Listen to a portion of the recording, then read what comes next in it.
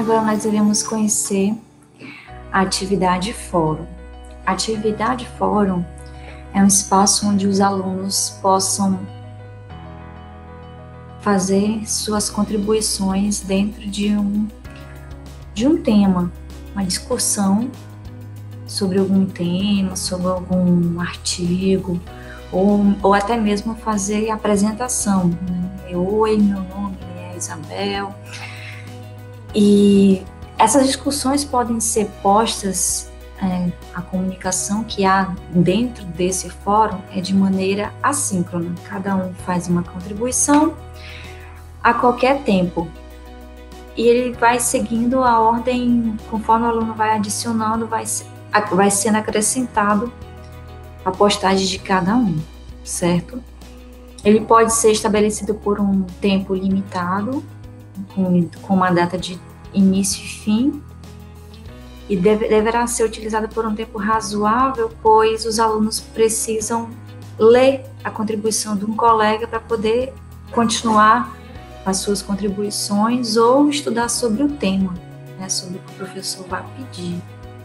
Ah, eu quero que o aluno acrescente a sua opinião sobre esse tema com no mínimo cinco, cinco linhas ou com no mínimo 200 palavras, e assim o aluno poderá fazer a sua contribuição. Bom, temos é, cinco tipos de, de fórum irei, irei falar, apresentar para vocês um de cada vez. Fórum geral. Aqui eu tenho um exemplo de um fórum geral. Ele é um fórum aberto. Como assim aberto? Ele permite que os alunos possam visualizar a postagem dos colegas, fazer a leitura, podem visualizar o tema e quando clicar nele você visualiza o conteúdo daquela mensagem. Cada aluno pode em adicionar um ou mais, ou simplesmente ele não, não obrigatoriamente precisa acrescentar um tópico, ele pode fazer a contribuição em cima de outro comentário. Esse aqui é o desafio do professor, já foi respondido por três alunos, certo? Ou ele pode simplesmente acrescentar um novo tópico. Vejam que dentro de cada tópico tem aqui os comentários que já foi feito em cima desse tema. Próximo, o próximo fórum é cada um inicia apenas um tópico. Nesse, nesse tipo de fórum, ele já limita a participação dos alunos. Esse aqui, por exemplo, o professor já fez a contribuição, por isso dessa maneira ele não pode fazer uma nova contribuição. Deixa eu ver aqui com essa aluna. Essa aluna aqui ainda não acrescentou, por isso que está habilitado aqui, ó, ela pode, ela ainda tem a chance de iniciar, acrescentar um, um novo tópico. A partir do momento que o aluno a, adiciona um tópico, ele não pode mais fazer uma nova contribuição, já que ele já utilizou a sua postagem, já desapareceu o botão de iniciar um novo tópico. Ou seja, que dá para é, limitar, ele limita a quantidade de interações na quando acrescentar um novo tópico, mas isso não limita a quantidade de resposta que eu posso contribuir dentro da resposta de um outro colega, por exemplo. Eu posso colocar quantas vezes eu achar necessário. Opa, deixa eu ver. Foram. Acrescentando aqui dentro do meu colega que não teve aqui minha contribuição.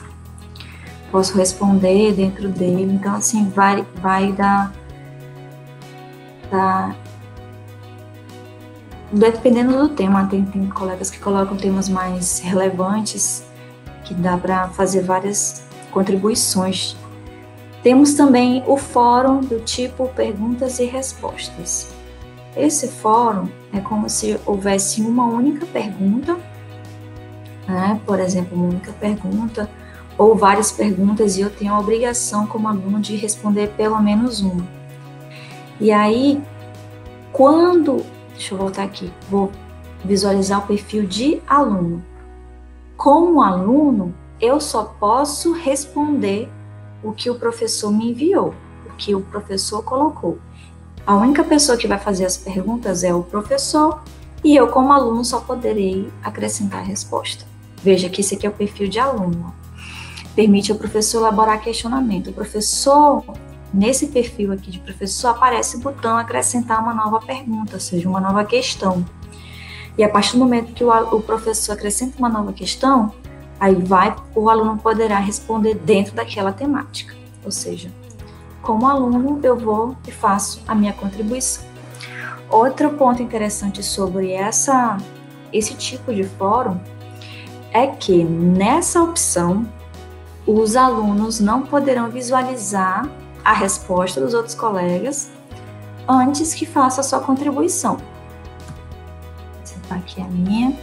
Isso evita a famosa cola, né? Eu vou ver o que o meu colega postou e vou fazer uma, uma vou parafasear a fala dele e fazer a mesma contribuição. Não, o objetivo aqui é que realmente o aluno tenha uma contribuição é, sobre o seu, ponto, o seu ponto de vista, diferente do ponto de vista do colega, que por mais que sejam semelhantes, nunca é o mesmo.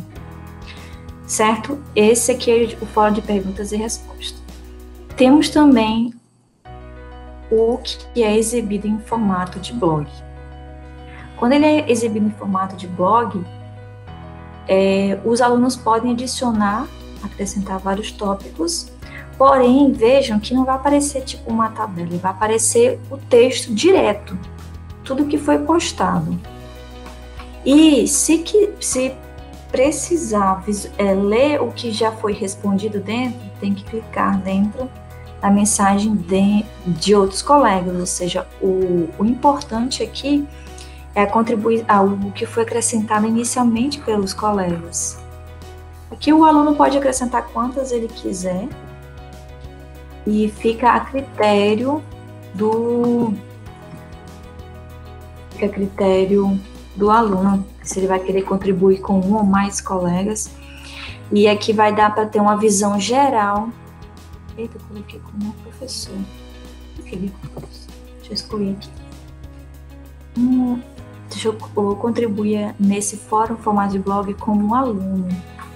Formato de blog como aluno. Aqui, acrescentar um novo tópico. Aqui eu serei aluno. Aqui eu consigo visualizar a contribuição dos meus colegas. A diferença é que o meu texto ficará explícito para todos acompanharem e de ordem cronológica, do último para o menor, do, do mais atual para o mais antigo. Certo? E se eu quiser ler o que está dentro, eu terei que clicar aqui dentro de cada um. Olha só as mensagens que estão dentro dele. Aqui não tem ninguém respondeu ainda ele, e assim vai. E agora temos, por último, o fórum do tipo discussão simples. Ela é semelhante ao formato de blog, porém, o alinhamento ele mostra tudo, tudo, tudo que foi postado, inclusive as respostas das perguntas anteriores, né? Uma sub, a, como se fosse o comentário da, da contribuição. Veja que aqui, ó, o Altrano fez, ó, o alinhamento dele, o Altrano, o Altrano, Altrano fez a contribuição e o Beltrano já respondeu em cima do Altrano, significa que ele está remetendo ao comentário do colega de cima. E assim vai seguindo o alinhamento, ó, um dentro do outro, e tudo, tudo que for postado ficará na página, numa página única. É, esse fórum, ele, ele deve ser, o objetivo dele é mais para discussões mais breves, porque se houver uma longa discussão, ficará um texto infinito, muito grande, muito extenso, então, para, para temas mais objetivos. Bom, é isso, pessoal, com relação aos nossos fóruns. Depois eu irei. É bem simples. A, você, depois que entende a temática, qual o objetivo que você vai utilizar, dentro da sua sala você escolhe eles. Bom, no próximo vídeo a gente vai acrescentar para ver como faz essa configuração. Até breve.